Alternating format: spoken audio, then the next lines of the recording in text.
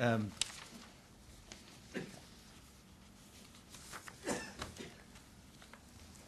so I also will have to kind of assume that everyone has read the paper, read Chris's paper really, really closely. um, and I say that just because there, actually, I haven't written anything. I mean, I have. There are all these pages, but um, but it's almost all quotations. So if you've memorized what you've written, meaning maybe that's Chris, you'll actually hear them as quotations, and otherwise you may not. So, um, you know, every once in a while I'll do something like that, uh, but most of the time I won't even do that. So, in a world not limited the way ours is by time, by the limits on time for preparation, but also the time for presentation, I would have liked to formulate uh, 18 questions for Chris about Styron's Nat or the metaphysics of presence, one for each of Benjamin's theses on the philosophy of history. But it is not merely contemporary historicism that would not have much time for, for the long moment indistinguishable. That's, that's a quotation from the paper. Um, that is also, in part at least, the condition, our condition as conference participants. Historicists or no, we're all on the clock. Um, and, you know, it's many clocks. It's Ishai's clock, and it's me prodding Ishai to mind his clock. And, um, but there's no, no need to rush to identify with the villains, and historicism is the clear vision in the methodological drama. So historicism is the infidel in, in Chris's crusade. Uh, there'll be plenty of time for identification with villains once we find another mode of historical practice, once we manage to move beyond method. And when we do, there will indeed be villains, good and evil, angels and demons, black and white. And in fact, much of what we will try to do, or what I'll try to do, could be captured in a phrase that is a pun, um, and it is displacing gray. So right, Gray, Gray writes, writes up these confessions of Nat Turner. So time is short, and I'll be brutally reductive. I would hedge at this point, but there's no need because your questions are going to be directed at Chris, not me. So here's my take on what, on what Chris is up to. Um, Chris has rolled two tasks into one. First, like Styron, but with a great deal more sophistication, he's involved in a meditation upon history, a search for method. Second, at the same time, and this is what he's just said, he's developing an attempt to write a history of the Southampton Rebellion. And there's a paragraph where these two tasks are articulated together. This is all a quotation from Chris's paper. What remains is the question how one might save Nat Turner from those, like William Styron, who would befriend him by giving him rational dimensions so that he might be yanked into the American present to teach it a lesson it could understand on its own terms. How might Turner instead be encountered on his terms so that now quotation inside the quotation, the past and the present moment might flash into a constellation at a moment of a specific recognition that teaches the present not a moral lesson about itself, but instead that is itself a collage of dialectical images, of critical constellations in which precisely this fragment of the past finds itself with precisely this present. How does one overcome the metaphysics of presence, which dictated both the construction and the reception on all sides of Styron's Nat, without surrendering the past? So, one has to build an historical method that resists historicism and perhaps resists professional history more generally. So, one has to rescue, that's Chris's word, and he repeats it, one has to rescue Nat Turner from the historian's cartoonish caricature. So I want to look at these one by one before rejoining them in a few minutes. First, historical method. So Chris follows Benjamin, not surprisingly, and says historical perspective dispels self contained facticity. Articulating the past historically means appropriating a memory as it flashes up in a moment of danger, at the moment of its recognizability, which is now. So this isn't the first time Chris has looked to Benjamin as a guide for generating historical sensibility if Chris had to have a slogan over the past few years, I think it would be um, sort of in opposition to the old Marxist slogan that used to be thrown down against the structuralists, which was always historicize, and Chris's would be always constellate, um, if that's actually a verb. but, um, so, what part does Styron play in this? I'd say it's a double role. First, Styron's non professional history is an alternative to the way history is developed as a science.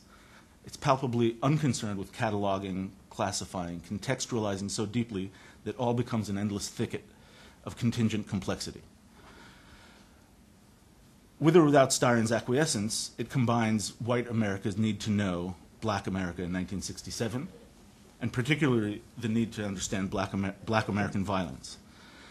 Now, as an aside, I'll mention that Chris, professional historian par excellence despite himself, cannot resist correcting Styron's factual mistakes, nor can he resist following Styron's trail the way only a detective or an historian would have the stamina to do. So it seems that every word that Styron uttered about the confessions for the decade preceding and the 35 years following its publication, um, and almost every word uttered about Styron make their way into Chris's record.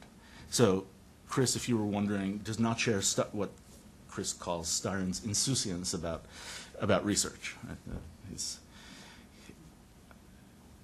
so Styron's doing something important, but not, um, it, isn't, it isn't quite exactly research. So, and, and Chris takes his research completely seriously. So back to Styron. Styron fails in part because despite his verbosity, he's inarticulate about his own purposes. and paradoxically, this is part of his appeal. He lacks the sophistication that threatens to ruin historical insight through its own professionalization.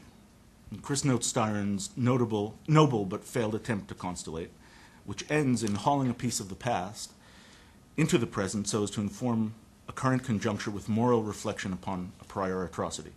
Styron's attempt to make black rebellion comprehensible in 1967 instates the urgency of historical investigation. So that's the half of it that, that in some way works. But while the attempt fails, it is, in Chris's estimation, not without grace. So another aside with a question, right? Chris has been sort of generating a catalog of failed, failed attempts at constellation. Um, so a, a, bunch of them published, and some of them I think not so. And it leads me to ask whether constellation always performs by failing. And if I had one question, on method, it would be that. But so why why does you know a word on why it why it fails on the that is on the particular failure of, of Styron, and then on to a bigger question, which is where Chris's history of the Southampton Rebellion will come out. So perhaps the, the primary failure in Styron's history lies in the fact that it's incapable of taking seriously Nat Turner's religious conviction. Styron secularizes his Nat, and his explanations for doing so revert to a characterization of the historical Nathaniel Turner as a psychopath with crazed visions. Chris would rather try to recover the layered meaning of the soterial, salvation oriented. I had to look that up, so if ever, everyone knows the word soterial. Um, soterial speech of an ascetic 18th century evangelical Protestant, a speech that justifies extreme and even murderous violence, but is neither fanatic nor insane. In all of this, however, we're still somewhat in the dark about Chris's own stake, not in his intervention vis-a-vis Styron, but rather with relation to Nat Turner. His history of the Southampton Rebellion will be a constellating history, and if it fails, it will not be for want of articulating its methodological convictions. The open question pertains to the precise interest in the present that gives the constellation its meaning, and that ensures that it is more in the way of making a dialectical image than a hauling of a piece of the past into the present. So I'll go out on a speculative limb and I'll combine two discussions that probably don't belong together, um, but it's too late. So one, one is somewhat straightforward but not very well specified. Uh, a little reflection about the present. So today's today's present finds the left, at least the left in the West, particularly in the U.S., but also beyond that, completely unequipped to engage ser- seriously with religious conviction, particularly with a religiously formulated demand for justice and its political manifestations. And this is true internally, where the left simply cannot engage with the religious basis of its religious right um, or rights, so whether that's in the US or in Israel or I think a lot of other places. And much more pointedly, where religion based resistance and resistance to capitalism are often combined, which is outside of the, the domestic set. So that would be one part of a present that would lend interest to const- constellating Nathaniel Turner. Um, right, it would be a way to try to figure out something about what religious conviction means to formulating political demands. Um, and then on a completely reg- different register, uh, and I'm hoping that this is not a crazy combination, um, we find the question of grappling with the role of violence, both as resistance and as the possibility of founding a new order. So here's a jumping off point for thinking about that. At the very end of Chris's masterpiece, Freedom Bound, which, if you haven't read this piece really carefully and you are thinking about what of Chris's to read next, um, read Freedom Bound. It's more important than this piece. Um, he, he contrasts. He, he's sulking. Well, you know, this, this piece will eventually be an, an important magisterial and important book about the Southampton Rebellion, and you can wait for that if you haven't read this piece yet. So, um, but yeah, it's it's a good thing. Freedom. Bound is great. Um, so at the very end, he contrasts uh, two Shakespearean characters, Aaron of, of Titus Andronicus and, and the Tempest's Caliban. And Caliban isn't important for us now, but Aaron is actually the very image of Nat Turner, uh, though the similarity goes completely unmentioned there. It's not, it's, not on, it's not on that page, but Aaron is black, defiant, committed, willing to kill, willing to die. And Chris quotes the following lines that Aaron speaks to his son when he's about to flee Rome. He's engaged in this uh, basically revolutionary plot and, rev- and revolutionary murder, and he says, Come on, you thick lipped slave, I'll bear you hence, for it is you that puts us to our shifts. I'll make you feed on berries and on roots, and feed on curds and whey, and suck the goat, and cabin in a cave, and bring you up to be a warrior, and command a camp. So, just for a sense of the echoes, if you were to read Turner's Confessions, um, he, he meets his cohorts at a place called Cabin Pond, uh, and he characterizes the, his hiding place. He hides after the rebellion for about six weeks, and he characterizes it as a cave, although it's a, it's, it's a, just a, something that he's dug out of the thicket in the grass. So he calls it a cave, even though it's, it's really a hole. Anyway, the, this, this little passage just constantly echoes with, with those things. But Chris's use of Aaron has nothing to do with Turner. Instead, he marks a ferocious capacity for clear choice, for the use of violence and resistance to corruption and evil. He's viewed by the order of law as demonic, but he's the only marker of the kind of virtue that could found a state after the demise of another state. So, professional history, with its pain, painstaking accounting of complexity, seems unable to support a decision against compromise when the costs are immense. Resistance to professional history seems like tilting at a windmill. And Chris writes, perhaps, nevertheless, one should risk the tilt, cabin in a cave, become a warrior, command a camp.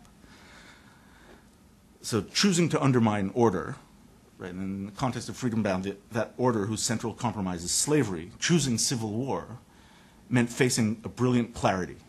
One might hope that our present, our present, does not require choice of such tragic force and proportions, but to the extent that it might, one might also hope that our history will allow us to recognize our present for what it is and give us the fortitude not to avert our eyes.